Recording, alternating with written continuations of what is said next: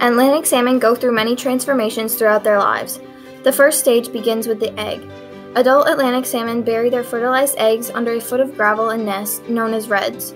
During that time, they go into the eyed egg stage, a distinct eye visible through the eggshell and indicates the early formation of fish. The egg hatches in April and May before making it to the alevin stage. Alevin is the second stage of a salmon life, who spend their days in gravel's nest from where they were born. When the salmon egg is ready to hatch, the baby salmon will break free from the egg's soft shell, retaining the yolk as a nutrient-rich sac that hangs below its body.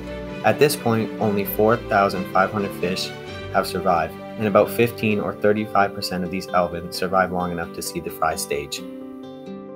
At the fry stage, the baby salmon that have absorbed their yolk sacs and have emerged from the gravel are ready to feed. Fry are not strong enough to swim upstream, so they drift downstream until they find calm pools where they can feed. There, they defend a small feeding territory from other fry. They catch land insects that fly close to the water or fall from plants hanging over the water. Almost 90% of all fry die from predators, disease, or lack of food, and most of them grow from about 2.5 to 4.5 centimeters. In this point of the evolution, only 650 fish have made it to this stage. Parr are only 2 inches long and are camouflage. To survive, their body changes shape and color. Their gills and organs also adjust. For two to three years, the parr grow in fresh water before they can enter the ocean. About 200 of the 8,000 fish have made it this far. In spring, large numbers of smolts, 1 to 3 years old, leave rivers and streams to migrate into the rich feeding grounds. They undergo a physiological pre-adaptation to life in seawater by smolting. This is evident by changes in their appearance as they become silvery and swim with the current instead of against it. There are also internal changes in the salt regulating mechanisms of the fish.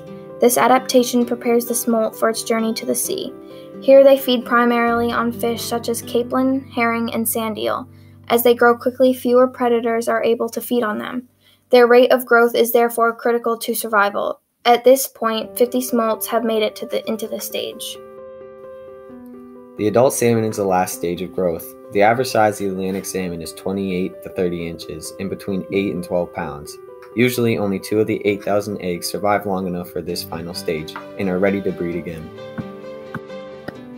How to tell the difference between a brook trout and a salmon parr. Salmon parr jawline extends to the midpoint of the eye. They have no spots on their dorsal fin, and the adipose fin is typically grayish. Also, they have a very forked tail. Brown trout is a colorful fish with red and black dots along its sides and are very similar in appearance to salmon parr, except their jawline extends to the posterior of the eye. Spots are usually evident on the dorsal fin. The adipose fin is tinted with red, and their tail is more rounded and then less forked.